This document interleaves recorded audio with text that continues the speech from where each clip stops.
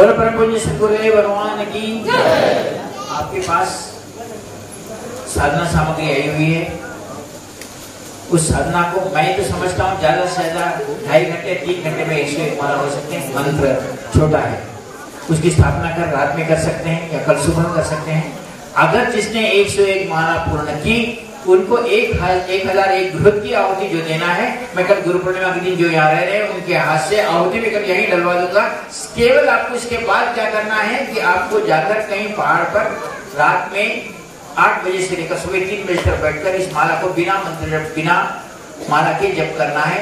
उसके बाद इसकी साधना की सिद्धि मिलेगी वहाँ उसमें ग्यारह दिन के बारे में लिखा है। लेकिन अगर आप गुरु स्थान में कल अपने पास नहीं दिखता, लेकिन चंद्र ग्रहण है और आप इस पूर्णिमा में ग्रहण में केवल एक सौ एक माला करके एक हज़ार एक आहुतियाँ देते हैं और उसके बाद में पहाड़ पर जाकर करते हैं तो साधना की सिद्धि ज़रूर मिलेगी। आप रात में करते हैं तो चंद्रयुक्त देवांगना मिलेगी और सुबह करते हैं तो सूर्य युक्त देवांगना मिलेगी। जो कभी भी जिस किसी ने भी एक सौ एक माला पूर्ण की है, उसको कल रात में एक हज़ार एक कृत की आहुति इसी मंत्र से दिलवाने की पूर्ण प्रयत्न करता हूँ। मुझे यही इच्छा है कि आप सामर्थ्यवान हो, आप शक्तिवान हो और आपके जीवन में एक ऐसी दिव्यता आए कि आप कहीं भी जाने के लिए सक्षम हो और कहीं भी जीने के लिए सक्षम हो और चार लोगों को आप उनकी सहायता कर सके। हम आपके शरीर का कायाकल्प हो। आप में किसी प्रकार की बीमारी का, बीमारी ना आए और आप जब तक जिए, सुख और शांति ऐश्वर्य समृद्धि के साथ जिए और आपको देवांगना का साथ हो, ऐसा ही इच्छा करता हुआ इस साधना को आपको मेरे साथ केवल तीन बार मंत्र बोलना है। तीन बार मेरे साथ मंत्र बोलो। और कब जब भी आज रात को करना है रात को या कल सुबह करना कर लो। गुरु पूजन करने के बाद इस साधना को संपन्न कर सकते हैं।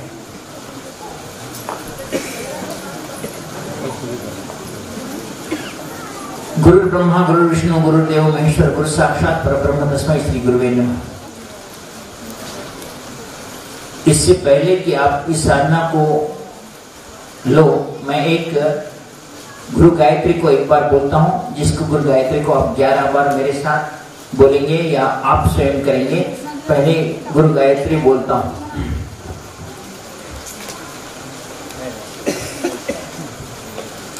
जिसमें रखा हुआ गुरु चित्र है, वो सामने रखो, और गुरु जी के फ़ोटो पर अपना हाथ रखते हुए गुरु गायत्री मेरे साथ ग्यारह बार बोलो।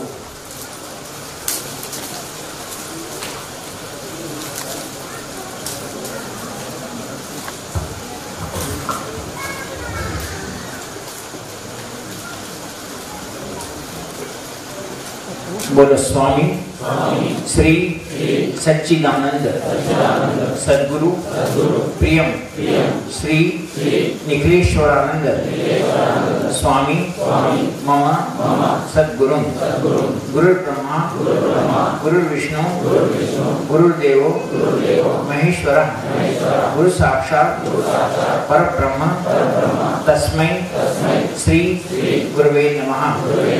आपका बाएँ हाथ हृदय पर रखो और राइट हैंड फ़ोटो पर रखो। गुरु मंत्र बोलो। बोलो ओम। गुरु देवताय विद्महे पर ब्रह्माय धीमहि तन्नो सद्गुरु प्रचोदया।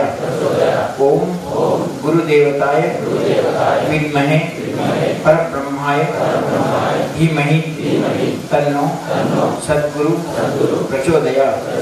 ओम गुरु देवताय विद्महे पर ब्रह्माय धीमहि, तन्नो, सद्गुरु, प्रचोदया।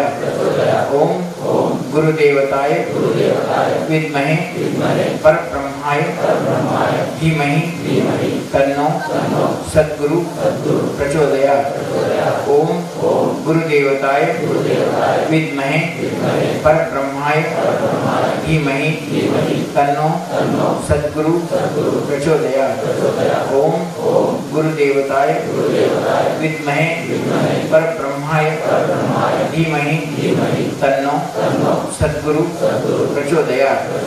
ओम गुरु देवताय विद्महे पर ब्रह्माय धीमहि तन्नो सद्गुरु प्रचोदया ओम गुरुदेवताय विद्महे पर ब्रह्माय धीमहि तन्नो सद्गुरु प्रचोदयात् ओम गुरुदेवताय विद्महे पर ब्रह्माय धीमहि तन्नो सद्गुरु प्रचोदयात् ओम गुरुदेवताय विद्महे पर ब्रह्माय धीमहि तन्नो सद्गुरु प्रचोदयात्।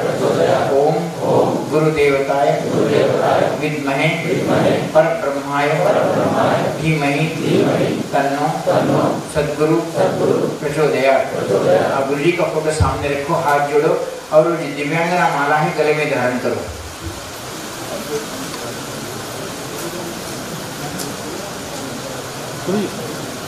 खाली माला जो है वो दिव्यांगना माला है।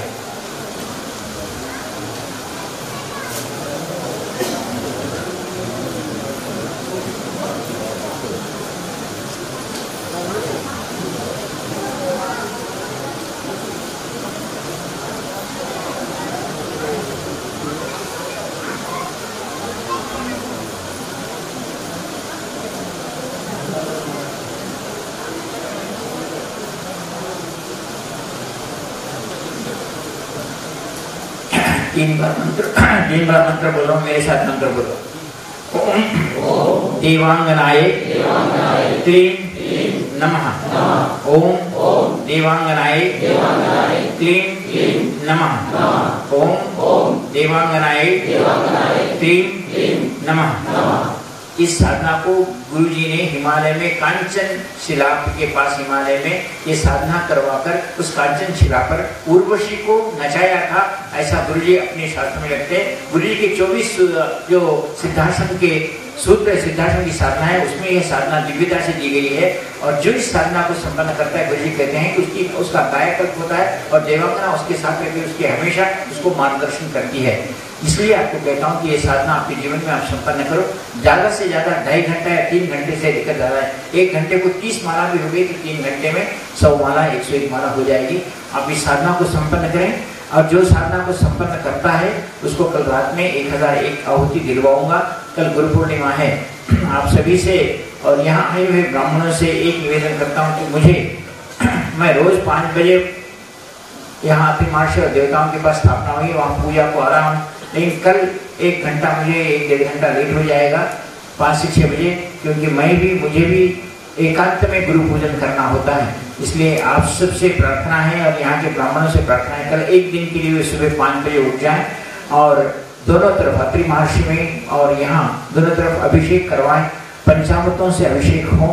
और इस अभिषेक को पूर्ण करते करते मैं आपके पास आ जाऊँगा। पहले अभिषेक होने के बाद फिर हम यहाँ गुरु पाजन और गुरु पूजकों का पूजन करेंगे। उसके बाद कल की गुरु पूर्णिमा का हम दिव्यता के साथ संपन्न करेंगे, जैसे सिद्धार्थ आदि में करवाया जाता है। और हम ये चाहेंगे कि गुरु कृपा हम पर प्राप्त हो। हम उतनी श्रेष्ठ है या नहीं है, ये गुरु जी जानते हैं कि गुरु जी के प्रति श्रद्धा रखना, भक्ति भाव रखना ही हमारे लिए गुरु गुरु पूर्णिमा है और हमारे लिए वो सिद्धाश्रम है, जहाँ गुरु की चरण है, जहाँ गुरु जी की मूर्ति है, जहाँ गुरु की, गुरु जी का चित्र है, जहाँ गुरु जी का मंत्र जप है, वही हमारे लिए श्रेष्ठता है। हम कल यहाँ रहकर गुरु चित्र के सामने पूजा करेंगे, गुरु चित्र की सामना करेंगे, लेकिन आप सभी से निवेदन है कि कल जो स्थापित गुरु जी हैं कल मैंने जो स्थापना की है, उसका पाँच बजे से लेकर सात बजे के अंदर ब्राह्मणों के द्वारा अभिषेक करवाया जाएगा, आरती संपन्न होगी, और उसके बाद यहाँ स्टेज पर आकर आगे का कार्यक्रम करेंगे। कल सुबह अत्रि महर्षि के जो भी अर्चक है, जो भी पूजा करवाने वाले वगैरह हैं, वो सब लोग पाँच बजे वहाँ पहुँच जाए और ब्राह्मणों को कहता हूँ कि अपने अपने हिस्से, थोड़े लोग इधर उधर होकर दोनों तरफ़ पंचामृत से देवताओं का अभिषेक करें। और मैं सात बजे तक आरती संपन्न हो जानी चाहिए। सात बजे तक मैं आपके पास आ जाता हूँ। आप सब लोग पूजा संपन्न करें। आशीर्वाद देता हूँ। इस साधना के बारे में मैं जितना भी आपको कहूँ, कम है। यह पूर्व जन्म, अपने पूर्व जन्म के दोषों को भी बताने वाली साधना है और आने वाले जीवन के बारे में बताने की साधना है।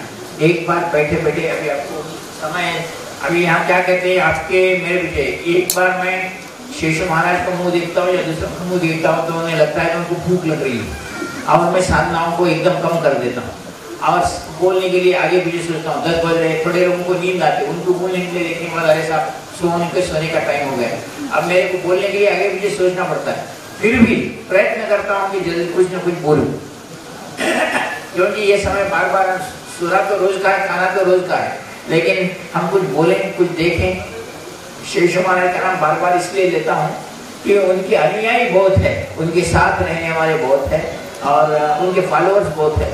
तो खाना और सोने में आने, उनकी अनुयायिता ज़्यादा है। कभी मैं किसी को उमते हुए देखता हूँ तो समझ लेता हूँ कि मैं साधना को भी यहाँ रोकना चाहिए। लेकिन ज्ञान देने वाले जो जागरूक है, जो चैतन्यवान है उनका, उनके लिए अगर अकेले को देखकर साधना बंद कर देता हूँ तो नहीं होता।